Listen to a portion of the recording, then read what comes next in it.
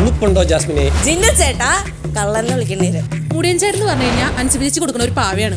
Nora useless contestant ആയിട്ടാണ് എനിക്ക് തോന്നുന്നത് ജാനുവണി ഞാൻ പറഞ്ഞല്ലോ ഞാൻ എക്കണോമിക് ക്ലാസ്സിലാണ് വന്നത് ഗബ്രി അടിപൊളിയാണ്. പക്ഷെ റിമെമ്പർ വിന്നർ ഒരാളേ ഉള്ളൂ കേട്ടോ.